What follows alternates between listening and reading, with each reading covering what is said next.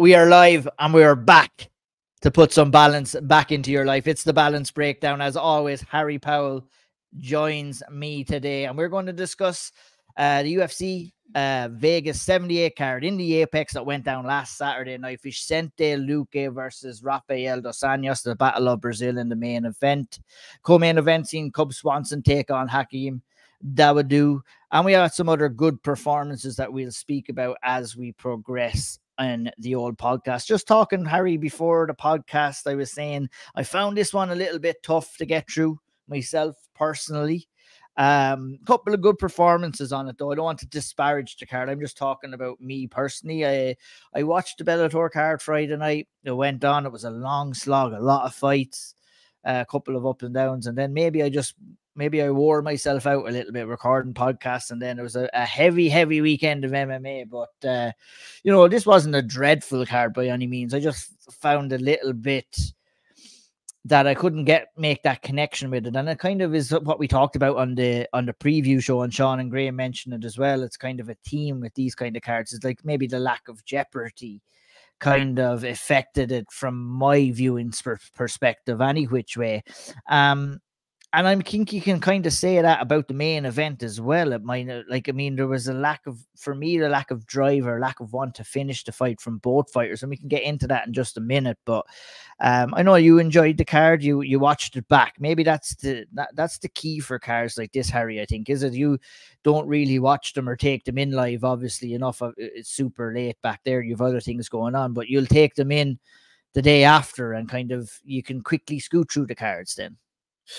Yeah, so I mean, Jesus, there's a lot to unpack there. Um, I think you know, I just went, I just offloaded on you at the very at the very start. Sorry, man. no, I was like, I was like, in my brain, I was formulating my answer, and I was like, oh fuck, I've got okay. There's lot. Okay, um, so first of all, I think you're right. I, I very rarely take cards in live. Um, if it's a big pay per view, I'll I'll stay up and, and do the thing, right? Whatever it is.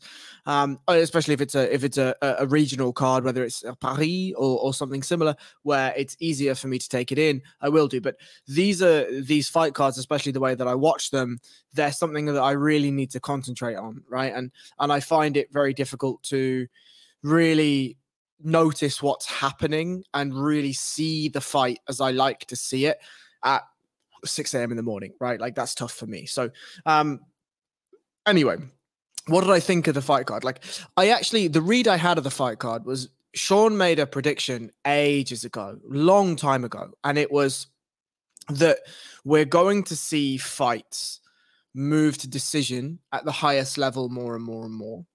And the lower the level the fight is, the more that we'll see a proliferation of finishes.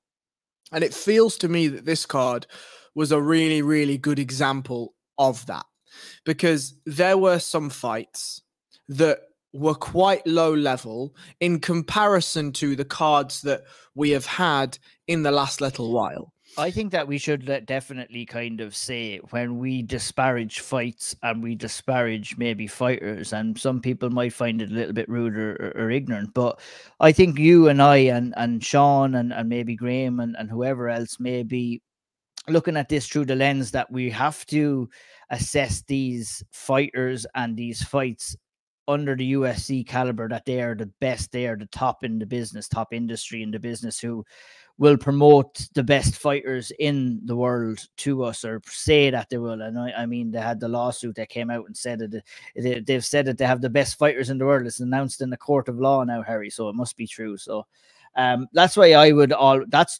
solely why I would always kind of belittle, and because maybe I'm giving a little bit of a warning here, because there's going probably will be a little bit of that later on when we're talking. But you know, before we get into maybe levels of fights, and sorry for interrupting you, your your kind of assessment is what I'm saying is it's basing off a U, UFC caliber fighter and and UFC as an organization. Yeah, absolutely, and and I think that when when we are treated to a certain level of card that we have been in sort of the last five weeks on a row, really, when there's a card that it has the makings of what you would expect a good card to have. Enough fights, 12, 13 fights, a bunch of finishes, a bunch of interesting finishes, right? You don't it's not often you get to see a twister. It's not often you get to see some of the performances that we saw in terms of what it looked like. If you just scroll to a Sherdog page or a Tapology page for the fight card and you had a look through it, you'd say, "Oh Jesus, that's that looks like a great fight card. Tons of finishes, must be tons of action." But I think that MMA is slowly changing in that at least it has for me that and you know i you and i disagree on this sometimes and shawnee and i disagree on this sometimes is i would much prefer to see a very technical back and forth and action filled fine but a very back and forth action filled fight over more of uh, something that's slightly less technical but way more action packed. And i think what we are seeing here or is the emergence of a pattern and that pattern is when you find fighters that are slightly lower level, there are far more opportunities for fights to be finished. And as MMA grows in its maturity and fighters grow in their efficacy and in their skill, it's far, far, far harder to finish those fighters. Either there needs to be a big mistake or a big moment in a fight that creates those finishes. And so, this card to me, it wasn't necessarily the jeopardy because I'm not I'm not somebody that generally looks at fights in terms of jeopardy. It doesn't really affect me as much. What really affected me in this was I was looking at certain situations, looking at the analysis of it, and recognizing that the fight card was quite low level. And so I'm looking and I don't get the same level of enjoyment for me as a fight fan, for me as an analyst. Now, there are actions there's action that we can break down there's there's finishes we can break down there's some really interesting performances but overall that's why it was more of a slog for me Sure, yeah, and that's totally understandable. And look at we we've said it before. We've been we've been pretty lucky with the quality of cards this year. There hasn't been. I mean, I think last year was pretty bad in 2021. Coming out of the pandemic wasn't great either at times. But we're you know, we can take one or two here, but we also have to be honest with the uh, assessing the card and assessing the situation. And even if it is just one spread in amongst them a, a lot, we we have to we have to say how we feel, and we'll say how we feel right now about the main event: Vicente Luque versus Rafael dos Anjos. Five rounds, a decision, a unanimous win for Vicente Luque, a big win for Vicente Luque, Harry, coming off a, a double set of losses and uh, a bad, bad injury as well, coming off uh, a serious. I think you know you could just credit Vicente Luque for for finding the will and the drive to come back and to want to come back after suffering a bad brain brain bleed against Geoff Neal in his last fight. Um, crazy to think, you know, you suffer such a serious injury like that, and and you want to come back and fight. It's crazy. It just shows how these men are and women are built inside the cage and the octagon, no matter where they're fighting. Rafael dos Anjos obviously on the wrong side of a decision. Um, you know, he'll be disappointed that he dropped on coming off his win against Bryan Barberena.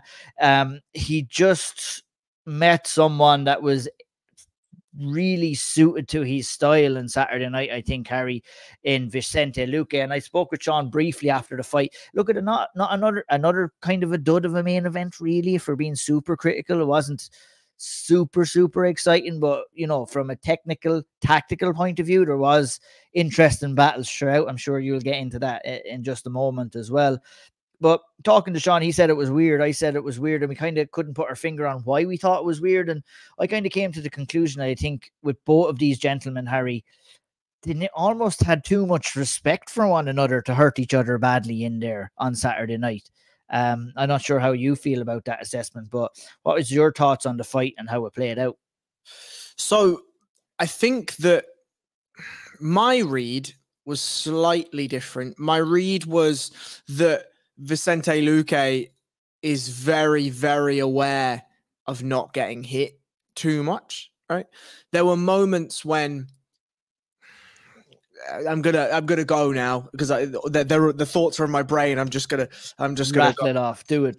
The thing that the thing that really struck me in this fight was we we finally saw that at the age that RDA is, when he can't find his rhythm and when he can't find the significant portions of the fight where he's putting people in a takedown grind washing machine, that He just doesn't have the explosiveness, the athleticism, and the power to sway fights his way. And for that reason, we saw that Vicente Luque had a ton of success. He would allow RDA to push him backwards. He would allow RDA to barrel on into something, knowing that he could cover up, take the shots, and he'd have an underhook and just reverse RDA immediately. I think for Vicente Luque, the the fear was there was a moment in either the first or the second round, I can't quite remember, but RDA did not want to stand in the pocket. He was not available in the pocket, but Luque hung around just a couple of seconds more and allowed that allowed him to land some really, really nice shots on RDA. Then RDA said, Well, fuck it. If I'm going to have to be in the pocket, I'll be in the pocket a little bit. And he caught Luque with a couple of really nice combinations. They were both exchanging, but a couple of really nice combinations. And there was a moment where Luque I think, made a conscious decision that I don't want to be in those pocket situations. I don't want to be taking those shots. Now, he, that- he even he even said that after the fight, Harry. He said that for the first round, he was like having been out for so long, and Jesus, you can imagine after coming back from a brain brain bleed as well. Oh, excuse me, a brain bleed as well. That's got to mess with you mentally.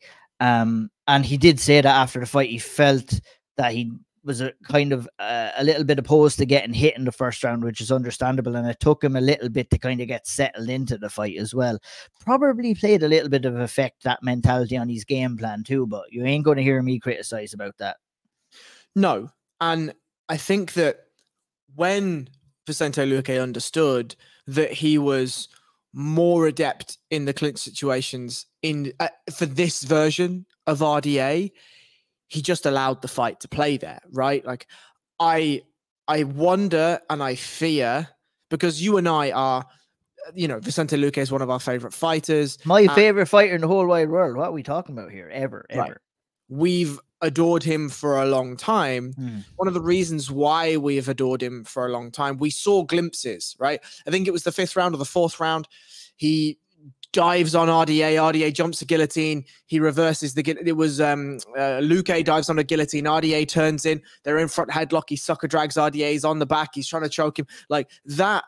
That level of fuck itness and just being able to go out, try stuff, take risks, do stuff, be in the pocket, land shots. You know, all of these. This this type of action packed style that he has is is something that you and I have both loved him for for a long time. But I think after a brain bleed and after such a serious injury, you're in a very, very difficult moral quandary. And that moral quandary is he doesn't know what else to do in his life than fighting. This is something he's done for a considerable portion of his life. He's very good at it. He's one of the best in the world.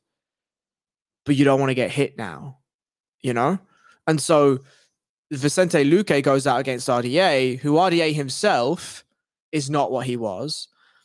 And so we see that Luque's youth and that little bit more of athleticism that he has left in the tank was able to to really allow him to sprint away from RDA in some of the situations that RDA of five years ago might have really punished Luque in. But this had a this fight, the, the thing that made it awkward or weird to me is we're looking at RDA on a decline and we're looking at Vicente Luque not fighting in inside of himself. And yeah, so, and also uh, I would also argue a little bit of a decline as well, and we've oh, seen 100%. kind of that in the last 100%. couple of fights as well. But you know what got him to the dance was that that ferociousness and that viciousness in times as well, where he's putting himself in a level of danger to maybe give a shot to take a shot, where that's not really there for him maybe anymore if he's thinking about his health and his well-being. And you know that's that's totally fine if that's a decision that he wants to make for himself if he wants to put food on the table. And i'm sure that's that was what you were kind of uh, alluding to anyway harry.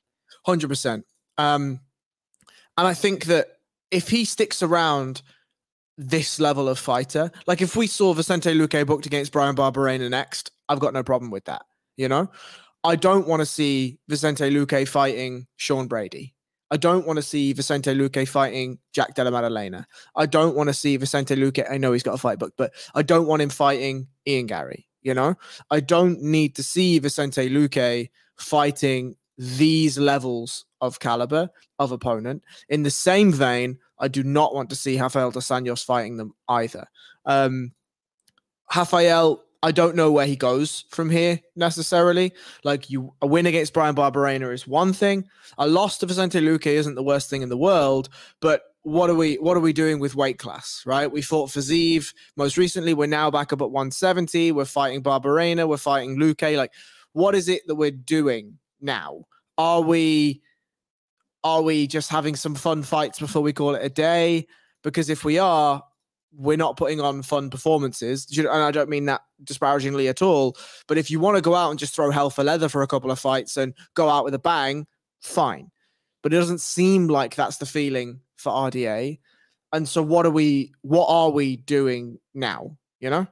I think I think if you're RDA, you're you're going out there, right? You're being competitive somewhat. You're not getting absolutely sparked unconscious. You're not getting put to sleep. Like let's let's uh, align the career trajectory over recent years that Tony Ferguson and Rafael dos Anjos have gone together. Now, the argument in what we are saying about Rafael dos Anjos right now in comparison to Tony Ferguson, well, Tony Ferguson has been put to sleep three out of his last four fights, one by knockout and two by submission. So that tells its own story. What Rafael dos Anjos is telling us and probably telling himself and his team and his family is that, you know, he still has it in him to go out there and compete and be competitive and somewhat remain healthy after these fights as well. But Harry, you know, and I know that one fight could change everything there, and and you're and you're teetering on the fine line of when is the right time. But I I would be fairly sure that we are going to see Rafael dos Anjos again. But it's all about the level of competition. Are we going to see him stride towards top 10 or even for a title. No, not no chance of it whatsoever.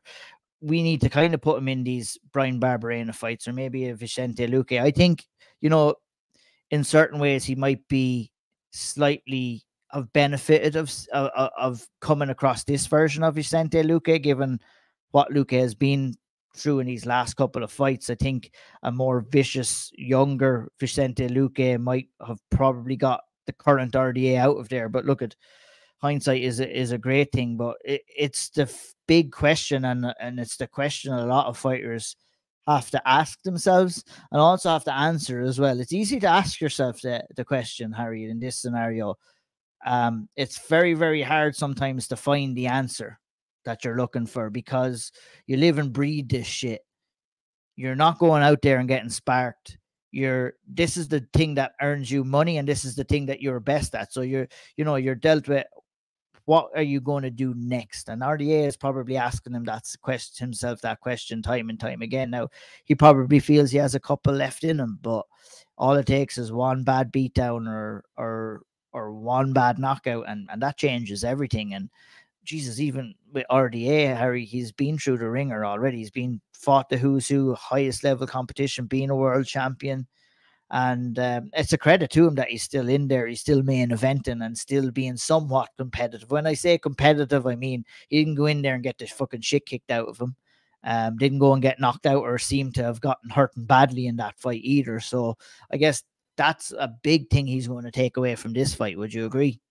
Yeah, and I mean, I I even would give him a couple of the rounds in there. Like there were moments when yeah, he yeah. was, was very effective, and I think the difference for somebody like RDA, and this is, I think we spoke about this previously, is for RDA, he was somebody that managed to move the meta of MMA forward. It was riding the wave, the more modern wave of MMA, in that, yes, his style was grappling heavy. Yes, his style was grind heavy, but he knew how to throw punches, right? Like he knew how to slip, he knew how to work the pocket, he knew how to dirty box, he knew how to do all of these things.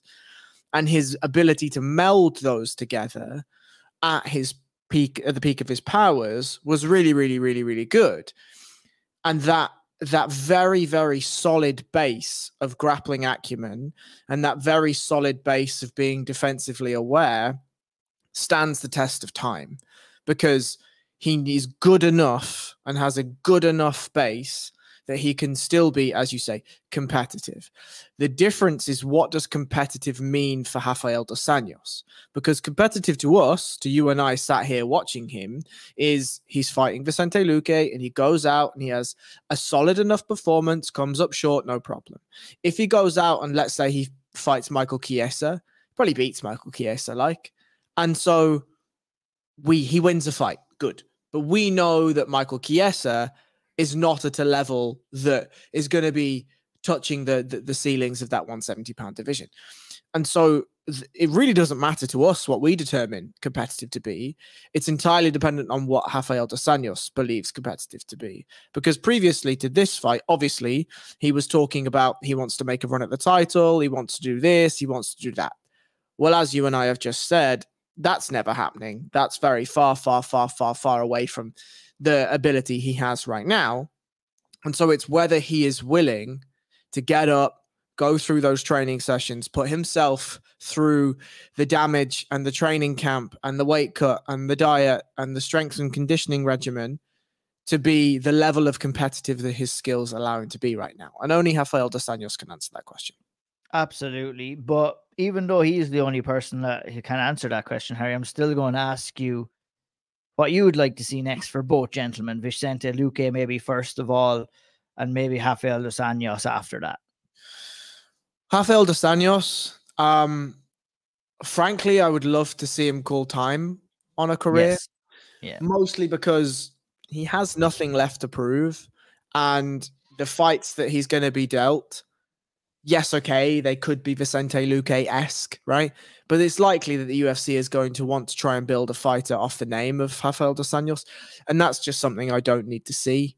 That's something that I would prefer not to see. It's something that I would prefer Rafael dos Anjos the next time we see him is when he's inducted into a UFC Hall of Fame or, or something of that ilk. For Vicente Luque, I think there's a little bit more gas left in that tank if we want to do a I don't know if we want to do a Jack Della Maddalena, I don't Great have show. a massive like problem with that, right? Because if Jack Della Maddalena is the guy that we think he is, he beats Vicente Luque, right? But if Vicente Luque goes out and is able to to grapple the way he did against RDA, well, we've seen that Jack Della earlier in his UFC career had some some issues with some of the grappling situations. And so Vicente Luque is a guy that's going to be able to go out and potentially expose those holes if those holes are still existing. Um, but I also would have no problem with them dialing Luque back and putting him in a Bryan Barberena esque fight where both guys will go toe to toe and they'll do the things and they'll throw some leather and they'll do this and they'll do that. So Luque is in that sort of situation where again, I don't need to see him against anyone with a with a single digit number next to his name. Yeah, it's almost harder to kind of match up these kind of uh, fighters because you know you can't really see them going too far up the rankings. But uh, yeah, I like that JDM call out for Vicente Luque and. Hopefully, Jack Della gets a, a fight for Sydney. I know he's struggling. Obviously, it'll be a little bit too soon for Vicente to go in there again it'd be interesting to see what happens for both gentlemen in the main event. In the co-main event, Cub Swanson took home another unanimous decision win over Hakeem Dawodu um, from Canada. A hotly disputed decision, that being said, Harry, and that was the probably the, the main talking point. Um, shouts of robbery, shouts of scandal by all the betting uh, experts on on Twitter again this week but uh, what it was, in fact, was a very, very close fight. Um, and having uh, looked back at it again, um, having it been really close, and and I, I would have given it a non-confident to Cub Swanson on Saturday night watching it live. I would be more confident in saying I would fancy Cub Swanson to take rounds one, rounds two, and Hakeem Dawodu taking round three for 29-28 for Cub Swanson uh, the judges had it unanimously for Cub Swanson. They were swayed on a couple of different cards, Harry. Um, you know, let's talk about the fight itself first. We'll talk about the scoring after. Um, were you impressed with Cub Swanson and he's showing here? Were you disappointed with Hakeem Dawodu? I don't know if I'm more impressed by Cub or more disappointed by Hakeem in this because this has been the kind of the cusp of Hakeem's UFC career so far, where we see flashes of this good fighter, and you know, you're coming in here and they're being lauded as this Muay Thai world champion and everything like that, but you're coming in and getting outstruck by Cub Swanson, and it doesn't make any sense to me that he got drawn into uh, such a fight like that because the type of fight that Cub Swanson fought, we've seen him fight before. He he just bit down on his gum shield, he closed the distance and wanted to land big shots, and Hakeem just ate it all up and and and and said, "Okay, I'll meet you at the dance." And and it was a bad bad decision overall for him to do that. And the result of the fight is is is a result of in my opinion, how Hakeem Dawodu fought in this fight. I thought he's a much more technical, much more crisper striker. And I think if he had a fought with a little bit more fight IQ and not got drawn into the battle, he might have won this uh, a little bit more comfortably. And and and of course, always in some people's eyes, he did win this fight, of course. But the judges saw it for Cub Swanson. Your thoughts on on the fight itself, Harry? Hakeem Dawodu just, I, I mean, to your point, I'm not I'm not more impressed with Cub Swanson than I am disappointed with Hakeem Dawodu. Like, yeah. how many times, how many times do we have to ask for Hakeem Dawodu to just do more? Right? Like you say, all these Muay Thai credentials, all this stuff. There has been so many performances that he's either eked a decision or he's lost the decision based on his activity, right? And the amount of time that he threw that stabbing teep kick and then nothing. No jabs, no setups. It was either the long teep or whenever they got into clinch situations, he was throwing big bombs and Cub was doing a good job of rolling with punches and landing his own shots. Cub was attacking the body. Hakeem was either trying to slam those body shots in or nothing. And it's just, it's so frustrating when you see that in actuality, Hakeem was the more athletic fighter. He hit much harder. He was much faster. And Cub was able to draw him into this tit for tat, exactly where Cub wanted the fight to be type performance. And even when Hakeem lands on Cub or seemingly like causes Cub to, to be aware of a shot or makes a good read, then just doesn't continue going to the well. Like it just feels to me like there's a significant lack of fighting IQ from Hakeem Dawodu, whereas Cub Swanson, who's now firmly in the veteranship of his career, is able to draw these sorts of reactions from fighters. I mean, Cub Swanson uh, and Cub Cub made that decision to fight that way as well, Harry, very early on. Um, you know, coming in here thrown wild in the pocket, coming out. You could see the smile on his face. He was like, I know what I want to do. And and he did. It was excellent game planning for him to see if he could uh, kind of draw the way the Dawodu in to kind of these wild exchanges because that was his best chance. And he did it very early, almost off the first exchange in the fight, really. Yeah, I mean, I I, I wrote as one of my first notes is that it's a fast start from both men, but Cub is doing the better work. And I mean by fast fast start by both men is that Cub forced the action. Hakeem had to either choose: do I get run over early, or do I have to, you know, up the gears myself a little? Um, but I just, I don't know. This fight made me a little bit sad, if I'm honest, and not sad because Cub Swanson won or because he was competitive or whatever but more sad because Hakeem Dawodu is absolutely never going to be the prospect that we thought he was going to be. He's never going to be able to capitalize on the attributes that he has. And that is a real, real, real shame. Um, you know, Cub Swanson tried a fucking head and arm takedown, right? In 2023 MMA, a head and arm takedown in men's MMA manages to cause a scramble enough that isn't punished. Like head, if, head and hand stuff for Harry Powell, I guess, watching that. I was just so shocked. Like, I was like, what are we? How are we? What are we? I just, what are I? Just, I, I, I don't know what to say. Would you like to guess what what it could be with, with Hakeem? Like, why is it just that reluctance to pull the trigger? Is it you know, sometimes, you know, you can go on a great run, and he was on a great run before he went in. Since coming into the UFC, went on, lost his first fight, went on a five fight win streak.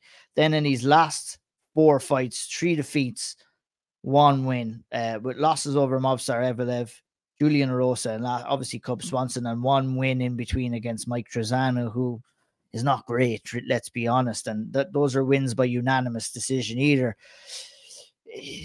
There's like I can sense that frustration, and frustration is the correct word because I kind of sense that throughout this fight as well, where it was like you, like I can't, I'm not, I'm not an expert enough to know to, to what exactly it is, but you know, you can see a when you see a good fighter that's not showing themselves to be a good fighter there, and that's exactly what Hakeem Dawodu is, and it's like you know, being over in Canada, Canadian MMA isn't doing all that well. It's like they're crying at the seams for someone to come out here and and and take the bull by the horns and bring on Canadian mixed martial arts. Now, Mike Malott is doing a pretty good job in doing that as well. But Hakeem, like you said, Hakeem was a guy that we were talking about and had high promises and high kind of hopes for when he came came in and broke on the scene. But you're spot on, man. It ain't going to happen. It ain't going to happen at this stage. He's 32 years of age right now.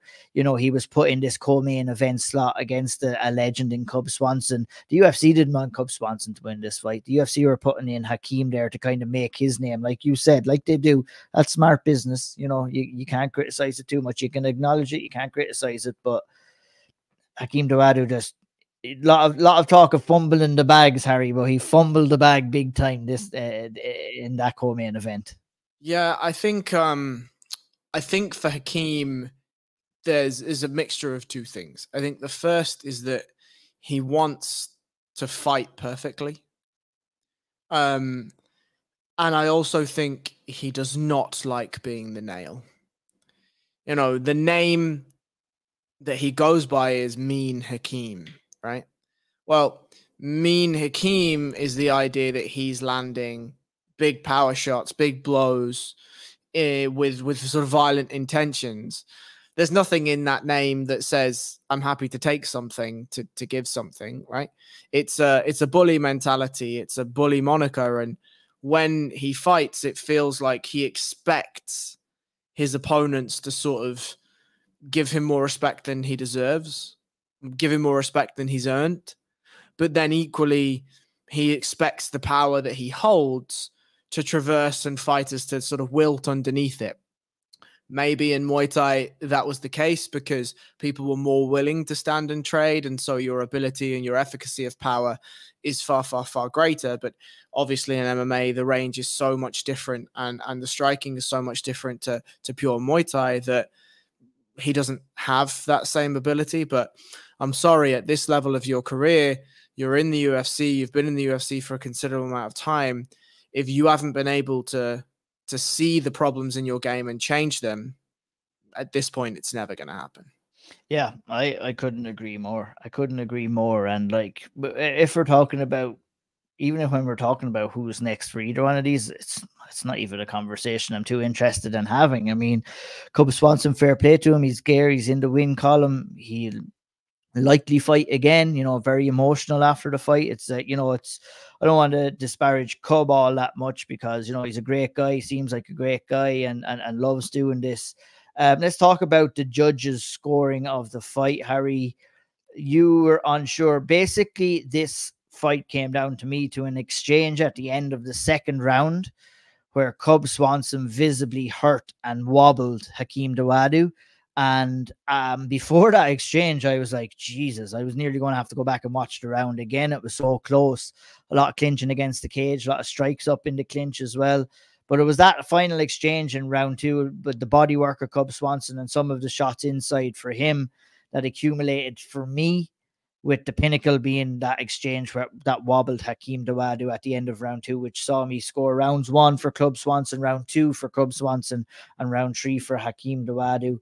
Um, but I ain't arguing if someone wants to give it to Hakeem either, even though we are kind of belittling and and and, and downgrading his performance. Uh, you know, he could have won it on a different night with different scorecards. Um, almost did on Saturday night, but um, we're not really going to be too too up in arms over the judges' scoring of this, Harry, are we? No, no, not at all. I mean, that second round was close. Like so it close. Was... This is as close a round that you'll ever you'll ever see.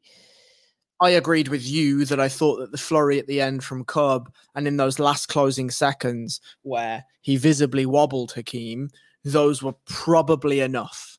But even watching it live, those shots landed, and as the round ended, I'm like, is is that enough? Like, it, I I I asked myself the question, is that enough? And generally, when we see a fight and we see something like that where it's a significant moment that happens in the round we take visible notice and we say okay well that's definitely enough to be scored or or maybe that's enough to sway it one way or the other but yeah you're looking for a reason like you're looking for a reason and and you know that's the way the kind of scoring has worked is to give fighters the reason or an opportunity to to for the judges to score them that round and in close rounds it's exchanges like that that that really make the difference. And like I mean, you can't with one breath say it was a close fight, and then with the other breath say it was horrible judging when you're basing one round off of one exchange that happened over the course of four or five seconds.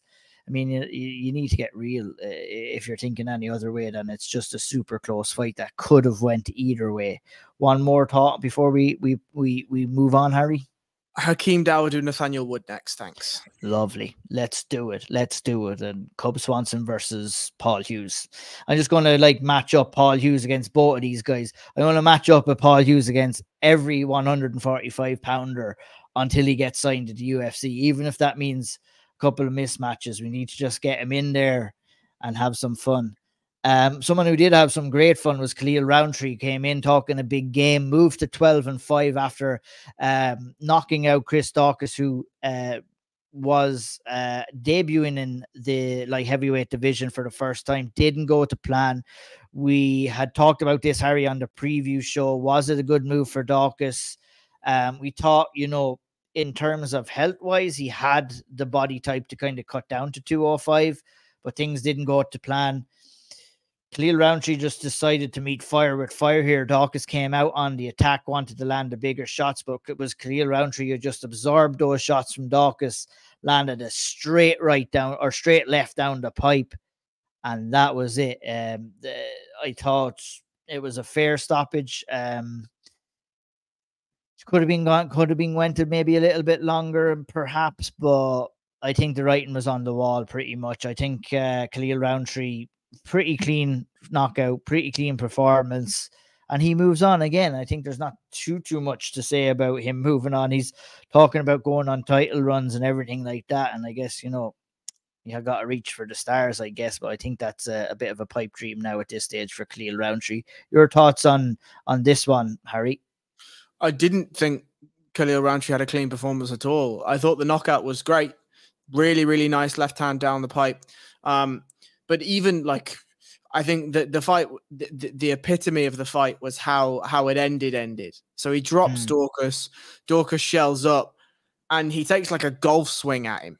You know, the first one misses completely, and the second one clatters Daukaus into the side of the head. And I have no problem with the stoppage. Neither did. Nah, no, neither I. I was I was a little, little bit loose lipped when I said that. When I think back on it, it wasn't that it wasn't that that bad. Now, to be honest, was definitely hurt. Uh, took yeah. a massive shot immediately after. He was curled up, not even looking at Rountree, not looking to build up to his feet.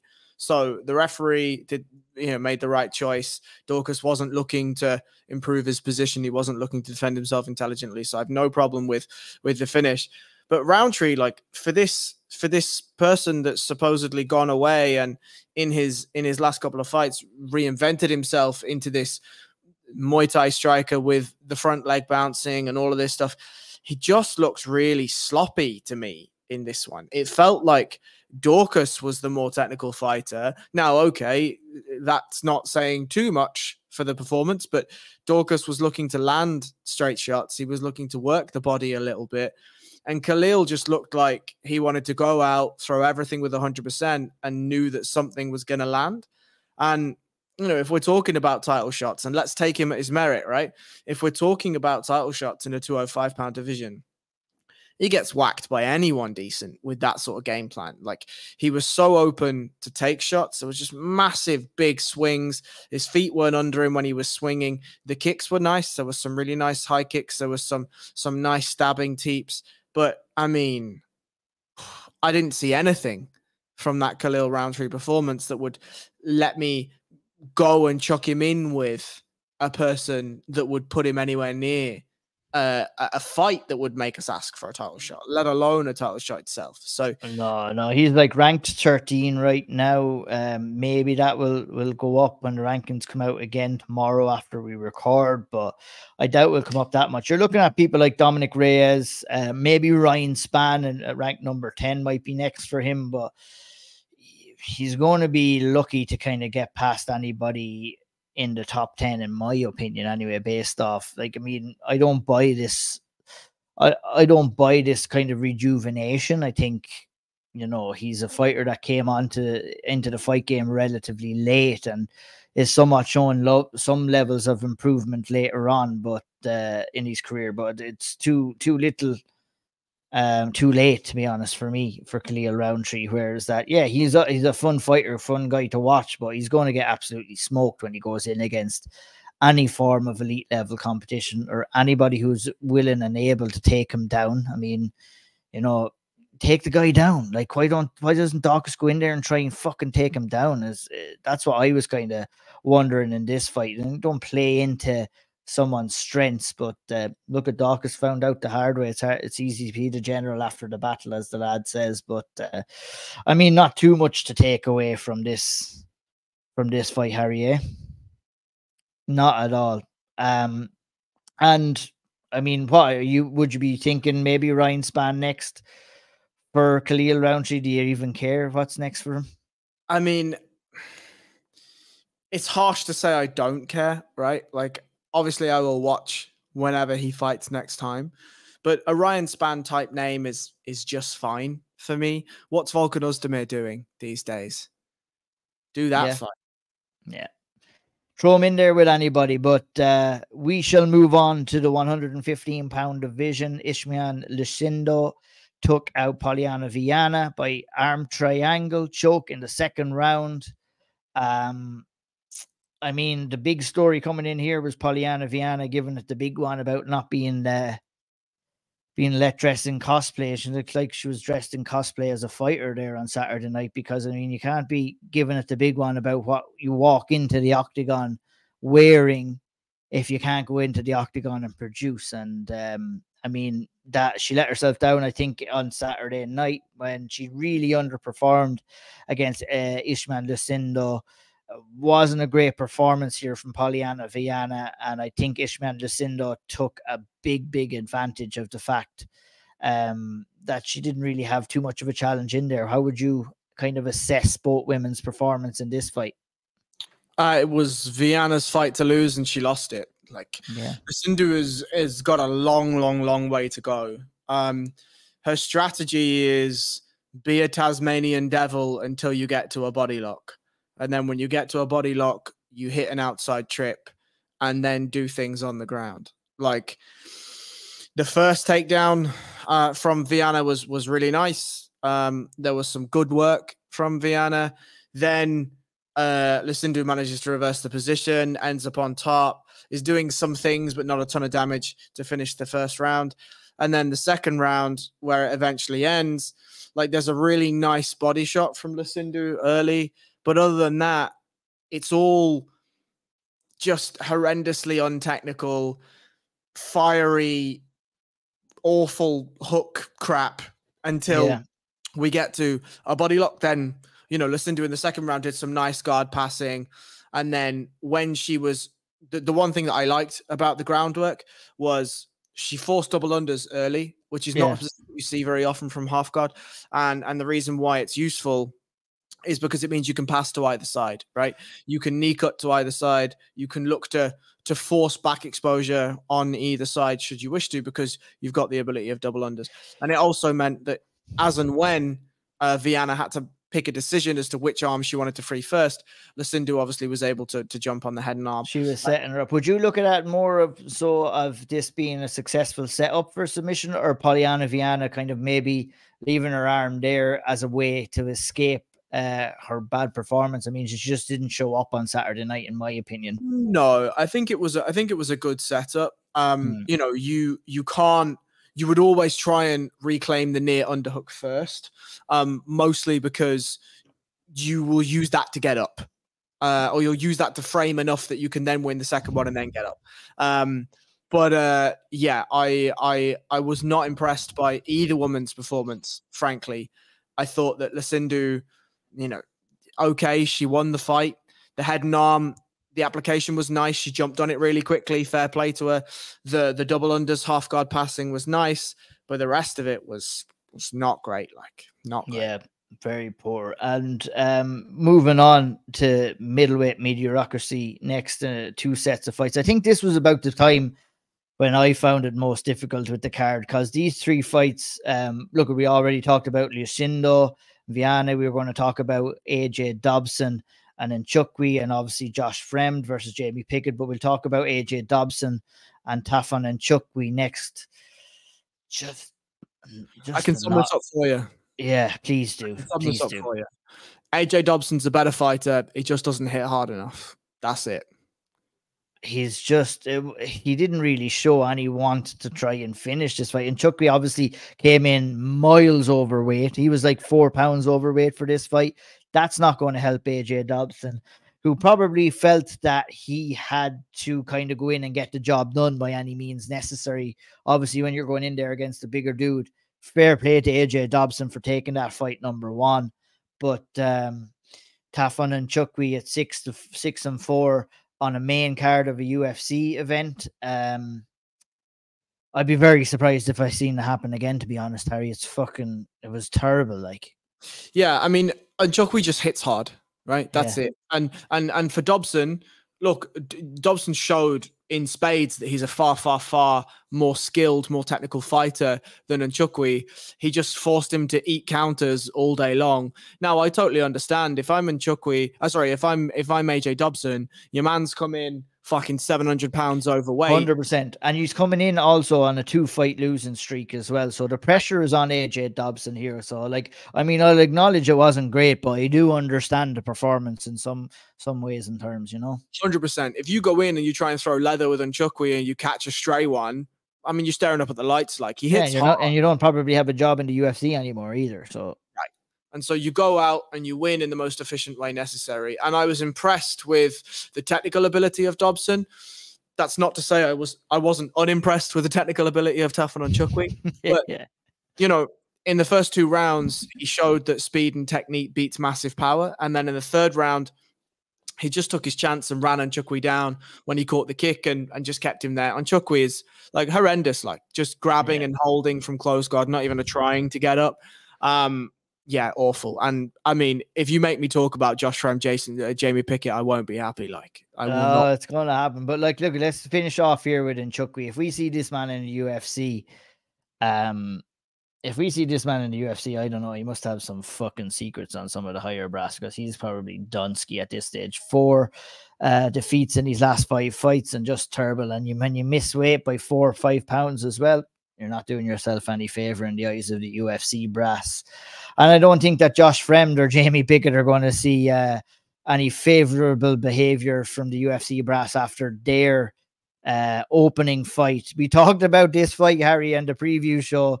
We were wondering why they put it as the main card opener, and it was it was just as dreadful as we could have imagined. It just wasn't a good fight whatsoever. Neither man could do anything in the clinch. Neither man was useful out in the open. The only good read that Josh Fremd had was uh, two good reads was the side kick to the right leg. That was a nice read. And the second one was he was trying to time Jamie Pickett with that knee up the middle, but couldn't time Jamie Pickett with the knee up the middle, even though he was being sold like it was a fucking mortgage deal, right? Like it was right there for it. He couldn't land it. And I mean, you know, DC's ribbiting on about how Jamie Pickett's improved even though he's losing this fight. That's all you need Oh yeah, for fuck's sake. I didn't I, I just don't even lit like I have I have just an unbelievable ability to zone out when I'm I watch it with the sound on, but don't listen to the commentary. It's like like you're talking about Jamie Pickett 13 and 10 now, four lost these fast four fights, and you're trying to big him up for some reason. I don't know whether he's a friend of DC or whatnot, but yeah, you've got to call it as it is on the desk. And, and DC does be living in a world of his own at sometimes. Like, I mean, crazy. the amount, like, Jamie Pickett had the turtle twice or three times, like a really good turtle position. DC's lording over the fact that Jamie Pickett grabbed your man's ankle, and I'm like, what are we like? What are we? What are we doing, lads? And then the next time he had his back, like actually had his back, was looking for hooks and locks up a Kimura and like drops over the top of Fremd for a Kimura, and I'm like, just sass, just get him out now, stop the fight, and just fucking give him his bag. yeah, give him the P45. Get him out of there. what are we doing? Yeah, um, we're, we're, what we're doing is we're going to move on to the opening fight on the prelims card, and that's Marcus McGhee. Because, in fairness to old Marcus, he did give us something to talk about in this fight. Um, and unfortunately, JP Buys was the victim of a first round knockout. He lost his last four fights in a row, and I feel bad for JP Buys who came in with a little bit more hype. I don't. I think JP Buys Harry is a better fighter than to have lost his last four fights for sure he just came in against a couple of good guys, and Marcus McGhee was on one. I mean, he had a lot of buzz coming into this card, went out there, landed a sweet right hook, and got the job done inside um, uh, three minutes on uh, on the prelims headliner. I mean, ticking off all the boxes here is Marcus McGhee. Great post fight speech. You know, a guy that we can keep an eye on, uh, at the very least, keep an eye on um, in the immediate 135 pound division, which is absolutely shit hot right now. Yeah, I mean, there's just something interesting about McGhee. I can't quite put my finger on it yet. I've not quite, I've not quite yet found out what it is that I like about him. Um, my, I like my- it that there's no bullshit about. It. There's no bullshit. Like he he goes in, he you can tell he enjoys being there. You can tell he loves and wants to be a UFC fighter. He loves UFC. Uh, he loves kind of going in there and fighting and finishing. And you know, there's a lot to be said about going in there and being your natural self and just being you. And, and being comfortable with being yourself. And there's a lot of people out there that are not doing that. And there's a lot of fighters out there that uh, would be led along the illusion that that's not the right thing to do to progress your career. But there's a lot to say about Marcus McGhee because anytime I see him talk or see him compete, and he's a guy I can maybe relate to as uh, in certain ways, and only ways that his he is himself, like, and and he's comfortable being himself and just a likable person. And uh, there's a lot to say. It's obviously it's easy when you're going out there and fucking putting guys away in the first round as well. That's definitely going to help your case. But he's just like a- this this this average guy who's a really fucking good fighter in the UFC, and it's kind of nice to see that. It's a little bit of natural kind of personality shine through. Yeah, I mean, I I haven't consumed much of like who he is as a person. Um, as as I've said, I don't really watch press conferences and that sort of thing. I just prefer to look at what the fighters are fight like, what they're actually doing and what they're telling me about themselves through their fighting. But I just enjoy his how much of like a sniper he is. Right now, Yeah. I'm not going to get too much on my horses or whatever, but that sniping style is one that we've grown to love from the Wonder Boys, the Conor McGregors, in some fashion, and Anderson Silva. Now, those are absolutely insanely lofty names to put Marcus McGhee into, but I just like that style of fighting. I think it's very effective when it's done well. And the thing I enjoyed in this specific fight is as he slips his head off the center line and lands that right hand, he knows immediately. Immediately, he knows that he's landed and he's landed flush. And as JP Buys goes down, he immediately doesn't need any more. He doesn't need to land any more. He looks at the ref, his hands are up, and he's like, Do you really, do you need me to do anything else? Yeah, some level of control there.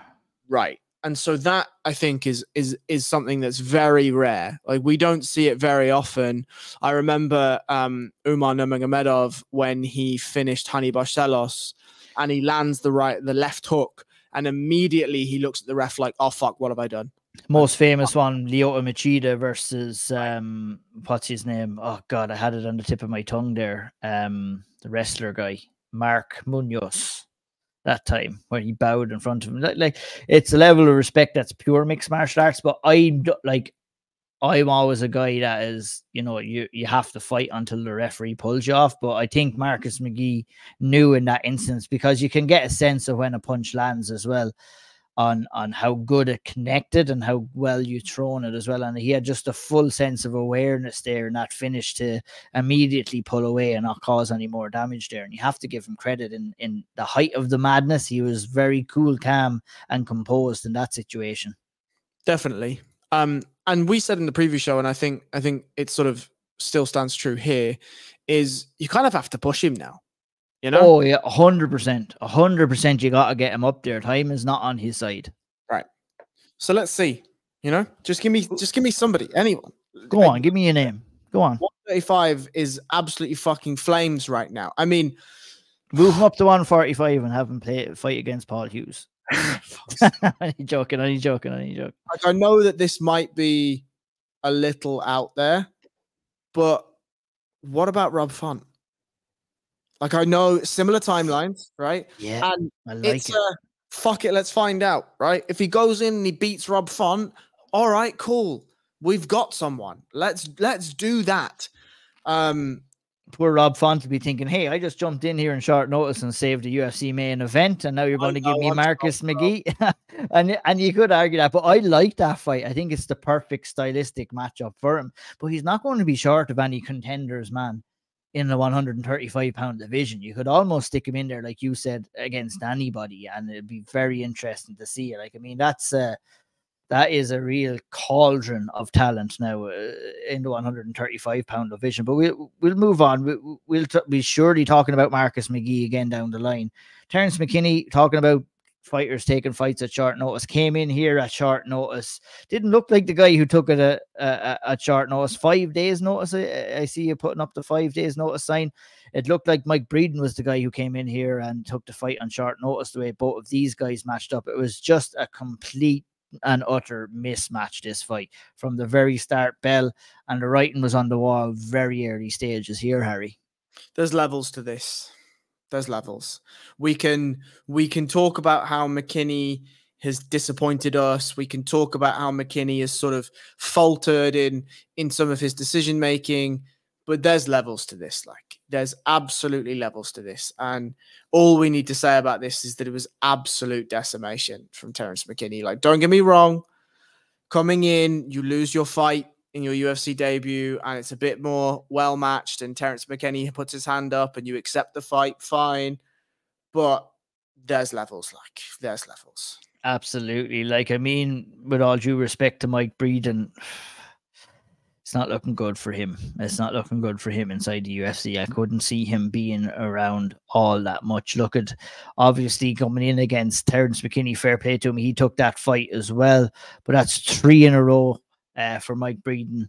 And um, yeah, I, I, I can't see him being around too too much anymore. One guy I can see being around for quite some time, Harry, was that of Isaac Dulgarian, who the severe spotlight shone on this weekend um, it was a hot, uh, de- well, a, a, hotly contested severe spotlight. I think we'll talk about Jacqueline Amorim in, in just a few moments. But first of all, Harry, I'm going to send it straight over to you. First round ground and pound win for Isaac Dulgarian, who put on a clinic really against Francis Fire Marshall, who himself is a very good fighter and has performed well before. But Isaac Dulgarian came in here climbed to six and zero, and this guy is is definitely worth a watch in the 145 pound division. Yeah, I mean, you know, we talked just before about Mike Breeden and, and we talked about UFC debuts, and UFC debuts are tough things, right? Like they're tough things, especially when you're in a variety of different stages in your career. But regardless of whether you're nearing the end of your career and you get the call up, or you're a 21, 22, 23 year old fighter, the UFC is what you dream of, right? The UFC is where the big money is. The UFC is where the big show, the, the big famous shiny gold belts are. Like this is the place as a fighter that you want to go and be in. And so when you get that call up, there's so many emotions that go through it. There are so many things that can happen, so many variables on fight night, etc., etc. And Dulgarian comes out, and you know Francis Fire Marshall is a fighter that we're all pretty high on. We're pretty high on like good prospect in that 145 pound. Very good. Like he looked very good on the contender series. Looked very good upon his entry into the UFC as well. Okay, lost one. That's okay. But you know what made it more impressive for me and Dulgarian here is is the guy who he's fighting, a guy who's coming off his first career defeat. Uh, against William Gomis, who in his own right, you know, very good fighter too. So, um, you know, Dulgarian did come in. I mean, you know, it don't doesn't always work out that way for for UFC debuts. a lot of moving parts, a lot of things going on, but he handled everything with with with, with perfectly almost really in getting that first round submission. Um, or the the um, first round ground and pound. Sorry, um, and how uh, how impressed are you? How far do you think that Dulgarian might be able to go in that 145 pound division? So I don't see anything that tells me title contender, right? Um, there was uh the thing that was impressive, and you know, there's, there's a few things that were impressive, but one of the things that stood out to me as being ultra impressive was the awareness of when and how the fight should be conducted. And what I mean by that is they open up and there's a couple of leg kicks. There's like four leg kicks, right? One is Dulgarian cutting an angle. They then trade a leg kick. And then as Dulgarian brings his feet together, Fire Marshal throws a really low calf kick, really nicely timed. And it sort of snaps Dulgarian's legs together and off balances him for, you know, a, a minuscule of a second. I Can think... I interrupt for one second? Uh, just a, a, flash thought that came here, completely off topic here. Now, this is this is me being outraged. W- was this two spotlight veterans kind of going at it here? One, one, one. Did Marshall have the spotlight shot on him once before as well? Yes, Crazy. I'm pretty confident he has. Yeah, Crazy. Yeah, me too. Me too. Yeah, sorry about that. That's just I completely derailed that no, no, I, that's interesting. I'm not sure that's ever happened before. Yeah, I was. I just kind of came to my head where it was like, I remember Fra- Francis Marshall was, but yeah, where hey, I given you're right, that's going to be happening plenty more down the line as well. Yeah, well, yeah, sure. I mean, I um, yeah. So so the leg kicks came together, and I think Dulgarian realized that not necessarily that he was going to be outstruck on the feet, or not necessarily that, oh shit, that leg kick really, really hurt. I need to change the fight immediately. I just think he saw that it wasn't the most efficient method for him to conduct the fight in. And the takedown itself wasn't great, right? It was super sloppy and and the head was in the wrong position and the arms were outstretched and whatever. But he gets the fight down. And from that moment onwards, you're like, oh, okay, this guy knows how to fight. Like it felt like he needed something to ground himself in and when he got the takedown, he grounded himself immediately and felt right at home, very comfortable. We talk all the time about adherence to scoring criteria. Well, it was a seamless transition between damage and positional dominance. And it was something I really, really enjoyed to watch. And the thing that you don't get very often, which I think was interesting, is he basically never, he didn't get hit. Like he took yeah. a couple of leg kicks but he took very very little damage on the bottom. A couple of pot shots from from um, from Francis Fire Marshall when Fire Marshall was looking to improve his position and and get some space and whatever. But for the most part, didn't get hit at all, and that's not something you can say very often in a fist fight in a UFC debut. So, um, I think you asked how far do I see him being able to go. That's a very difficult question. It is. Obviously, it is, of course. Yeah, very unfair question. All, all, we've seen is is is a single round's worth of of uh, uh, of effort, especially at this level. Um, I suspect that we will see him in some very interesting fights in in the coming months. I would like to see him against a good grappler that we will be able to showcase a little bit more of his stand up skills. I want to know whether that leg kick was a oh fuck I've been caught I need to change levels quickly or whether that was a I don't need to be here right? I could just yeah. take this down and maul him right? Like I don't need to do this. Uh that that's something that's very interesting to me. But ask me the question again in two or three fights and I'll give you a better answer Yep, for sure. From one seamless transition to another, Martin Buday locked up a Kimura win over uh, Josh Parisian. Um, Harry is uh, signaling into wave on. We'll give it a quick one minute. Not that impressive here, Harry, but uh, I mean, just beat a, a, a much inferior fighter on the night. Really, to being honest, a little bit of a mismatch in this fight too. Hey. I mean, Parisian's just not a great fighter, right? Like yeah. he's very tough. He took a lot of shots. Um, I would have been happy to see the fight stop standing, frankly. Uh, Parisian was was turning away, shying away, wasn't throwing back, um, not with any efficacy anyway, and and so I wouldn't have minded seeing the fight uh, stop standing.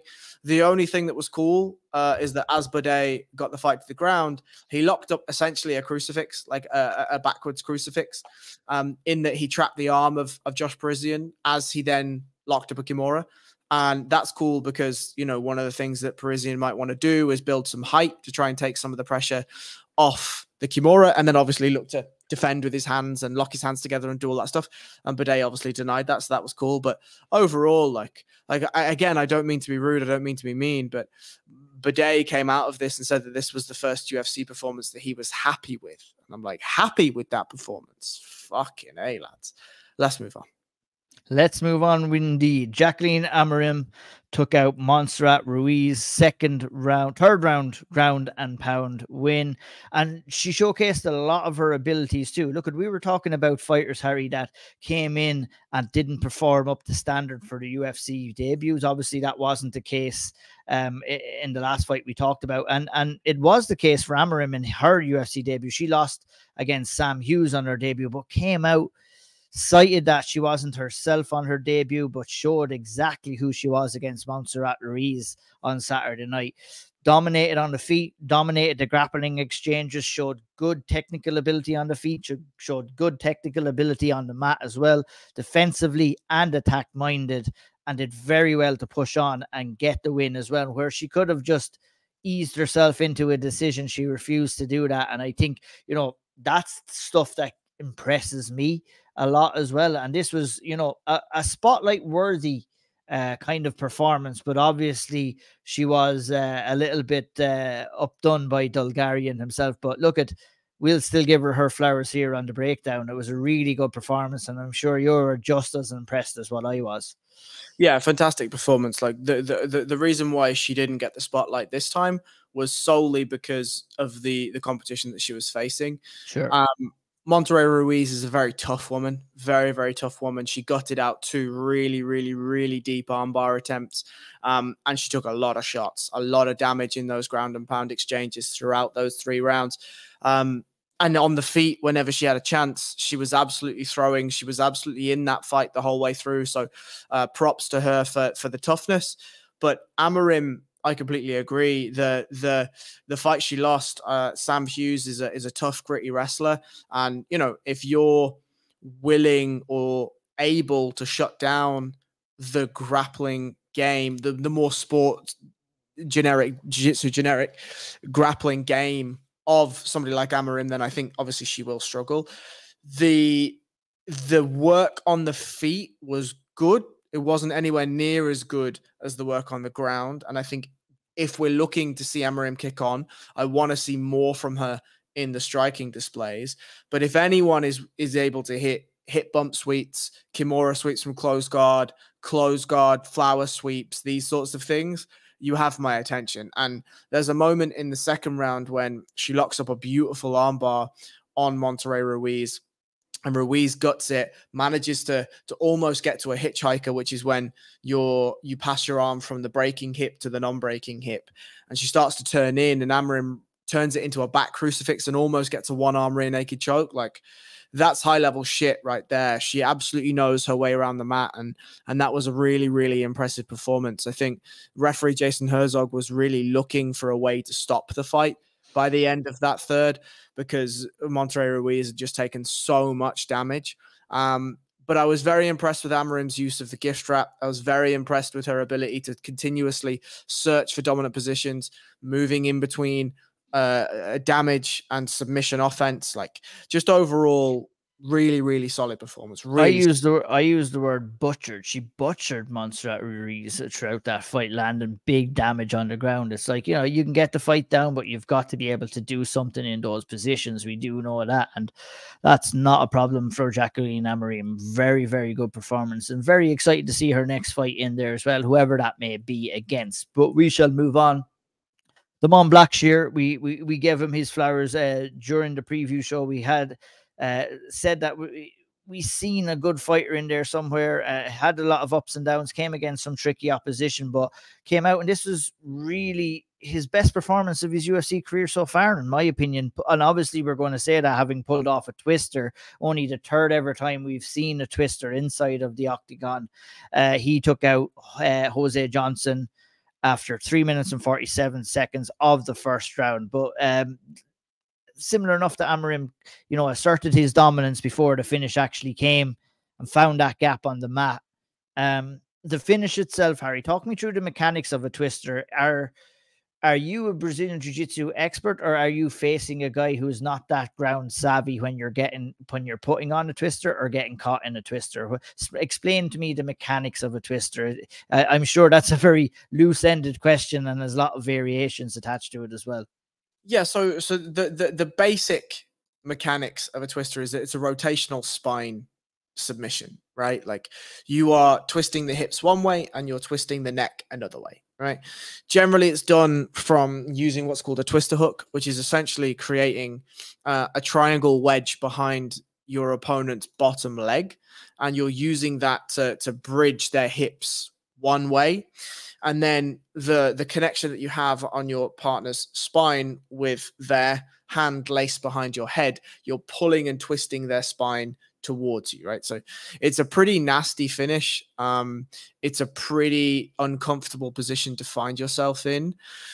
The the answer to the question about does Jose Johnson know what was happening? I think he did know what was happening, maybe a little bit too late. Like really, when you're in a twister, one of the benefits of the truck hook, which is the the the leg entanglement, is that it's hard for you to build your hip height up and escape the back. Right, like that's one of the one of the benefits of it. If you had a if Damone Blackshear had a regular hook on the bottom side at the at the time, he didn't have any top hook or he didn't have what's called a high ball ride where you cover the hip. And Jose Johnson would have been able to just pop his hip higher than Blackshear and either turn in completely and put Damone Blackshear on his back, or create a scramble and you know build up and whatever, whatever. But Damone Blackshear realized early that he was going to use the truck hook as a control method. I don't think he had Twister in his brain immediately, but what Jose Johnson made the mistake of doing is trying to off line, uh, remove his back from the center line. Right, so he tried to shuck his back to the mat with a twister hook. That's really, really difficult because you can't move your hips effectively. And so then I think when when Jose Johnson started to strike against Damone Blackshear, that's the big mistake because Blackshear just hooked his hands up, put it behind his head, and now we're in twister territory. For a long time, Jose Johnson did a good job at hand fighting, and Damone Blackshear had actually an inefficient grip to finish the twister. He had like a like a rear naked choke type anaconda type grip over the jaw of of Jose Johnson, whereas really you want to get like an S grip or a gable grip at worst just at the top of the head. Like you want to try and bend the head at the place that it's got the most leverage, and obviously that's yeah. at the very top. Um, but predominantly, Damone Blackshear realized, I think, when when the fight got to the ground in its instance in its first instance that that he had the beating of Jose Johnson there. I was impressed with how dialed in Damone Blackshear was from the very very very start. I know that this sounds strange for a first round finish, but his cardio looked great. Uh, it looked like he wasn't putting everything, everything into all of his shots. It didn't look like he was going to gas himself out from throwing those shots. And so, from an overarching perspective, I would agree with you that this is his best career performance to date. Okay, we don't really know because it's not been UFC tested the level of competition that he faced on the night, but sure. he hit a twister. Only the third twister. That's a pretty impressive feat. And to do it in the way that he did was impressive, also. Absolutely, I couldn't agree anymore. Uh, and that moves us on to another impressive feat. And I'm absolutely blown away that Juliana Miller was able to win the Ultimate Fighter competition because my goodness, she is dreadful. Like, I think you probably would have seen a better level of striking from a YouTube boxing fight than than she was able to showcase there against Luana Santos in the opening fight. Santos went on to win the fight by TKO um, towards the end of the first round. Um, uh, gosh, I don't even know what to say without being mad disrespectful towards Juliana Miller. Look at she goes in there, she tries her best, but she's just not good enough, Harry. Like, I mean, it's almost hurting on the eyes to watch somebody fight like that within the UFC. It's not not good. It's like one of the worst performances that I can remember there in recent history inside the UFC octagon. If and and, and that's me and being not that critical at all, to be honest. I think that's pretty safe to say. What what's your assessment on on on this fight? Like, I mean, Luana Santos went in there and got the win, but you know, she wasn't really showcasing too much levels of, of, of high quality in there herself. It was just a really, really, really bad fighter against a really, really bad fighter, and the really, really bad fighter got the win in Luana Santos. So it felt to me like the game plan for Juliana Miller, and this is never a smart game plan in, in women's MMA, but the game plan was to go out and try and finish the fight in under two minutes. That was the game plan. She went out there like an absolute bat out of hell. Not great at all, but she just tried to set a pace. She just tried to land loads of volume, and she did, right? In the first sort of 25 seconds, Miller was landing loads. Again, not pretty, not nice, not great, but Santos was just taking them all. Like, didn't know really where she was, was absolutely, uh, it seemed confused by the efficacy of, of Miller's striking. And eventually Miller just punched herself out, like, and then Santos was able to stick around long enough that she was able to land her own shots. I mean, the the worst performance in the UFC. I mean, shout out Cindy Dandois. Um, yeah, not great. Let me see that fight. Bring Cindy Dandois for one fight against Juliana Miller. Let's see that fight. Um, let's oh, not. God. But yeah, I mean, um, we have to call a spade a spade, and that's that. Fair play to Juliana Miller for lacing the gloves and making the walk and you know doing all that stuff. But this is we, we can't accept this like you wouldn't you wouldn't really ex- uh, uh, accept that at a regional level even harry like to be honest if we're being real like you know the final stages of the fight where juliana miller isn't even looking at her opponent she's just facing down and winging punches into space here it's like what are we doing here it's like I don't know, man. It's yeah, not the best way to get the fight, uh, the the the fight night started, and and like, I mean, I guess it couldn't have got any worse after that, to be honest. Though, but just sad old situation, really, isn't it? Yeah, not a great fight. Um, I I I don't mind not seeing either of them fight again. Absolutely. Performance of the night went to Khalil Rountree. Uh, Ishmael Shindo took home 50,000. Marcus McGhee, 50,000. And Damone Blackshear for his twister. They all took home the big bucks in another fight night card in the UFC Apex. Harry, I'll send it over to you. Final overall briefing of the card before we finish up for the latest edition of the balance breakdown. I think giving the bonus or a bonus to Lucinda over Dulgarian is fucking criminal like, but sure, these things happen in MMA. Absolutely. Harry Powell can be found at BJJ underscore Harry Powell on Twitter, Instagram, wherever you find your social media briefings. I O'Neill MMA is where you'll get me at. Go over there and check out the Severe Spotlight by Harry on severemma.com. And that is on, like I said, Isaac Dulgarian. He didn't get the $50,000 bonus, but he did get the Severe Spotlight. And Mon would argue that might mean a lot more to the man in uh, the coming years. Take care, folks. We'll be back for the big UFC card this weekend from Boston in a few days. We'll see you then. Take care. We'll talk to you